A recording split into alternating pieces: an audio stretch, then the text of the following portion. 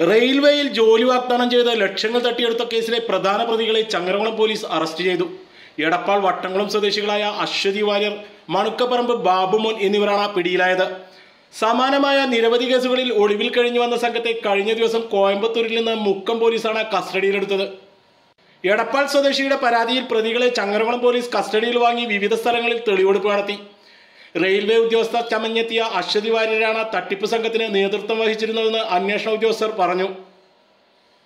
എടപ്പാൾ സ്വദേശിയുടെ കയ്യിൽ നിന്നും ജോലി നൽകാമെന്ന് പറഞ്ഞ് ഒന്നര ലക്ഷം രൂപയോളമാണ് തട്ടിപ്പ് സംഘം കൈക്കലാക്കിയത്. ഷിജു എന്നയാളാണ് തട്ടിപ്പിന് പ്രധാന ഇടനിലക്കാരനായി പ്രവർത്തിച്ചിരുന്നത്. എസ് സി മോർച്ച മുക്കം മണ്ഡലം പ്രസിഡന്റായിരുന്നു ഇയാൾ. ബി ജെ പി ദേശീയ നിർവാഹക സമിതി അംഗം കൂടിയായ പി കെ കൃഷ്ണദാസിനൊപ്പം നിൽക്കുന്ന ഫോട്ടോ കാണിച്ചാണ് ആളുകളെ വിശ്വാസത്തിലെടുത്ത് തട്ടിപ്പ് നടത്തി വന്നത്. ഇതുകൊണ്ട് തന്നെ പാർട്ടി കുടുംബങ്ങളാണ് കൂടുതലും സംഘത്തിന്റെ തട്ടിപ്പിന് ഇരയായത്. പ്രതികൾ പി കെ കൃഷ്ണദാസിന്റെ ഫോട്ടോ ദുരുപയോഗം ചെയ്യുന്നതായി പാർട്ടി പ്രാദേശിക നേതൃത്വം നേരത്തെ തന്നെ വ്യക്തമാക്കിയിരുന്നു. മലബാറിൽ മാത്രം അഞ്ഞൂറ് പേരെങ്കിലും തട്ടിപ്പിനിരയായെന്നാണ് പോലീസിന്റെ നിഗമനം. റെയിൽവേ റിക്രൂട്ട്മെന്റ് ബോർഡിന്റെ നിന്ന് തെറ്റിദ്ധരിപ്പിക്കുന്ന ഇമെയിൽ ഉപയോഗിച്ചായിരുന്നു വൻ തട്ടിപ്പ് നടത്തി വന്നത്.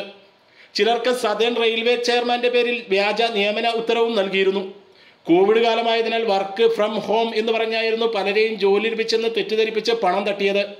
പലർക്കും തുടക്കത്തിൽ മുപ്പത്തയ്യായിരം രൂപ വരെ പ്രതിഫലം നൽകിയിരുന്നതായും അന്വേഷണ സംഘം കണ്ടെത്തിയിട്ടുണ്ട്. പ്രതികളെ വട്ടംകുളത്തെ വീട്ടിൽ കൊണ്ടുപോയി തെളിവെടുപ്പ് നടത്തി.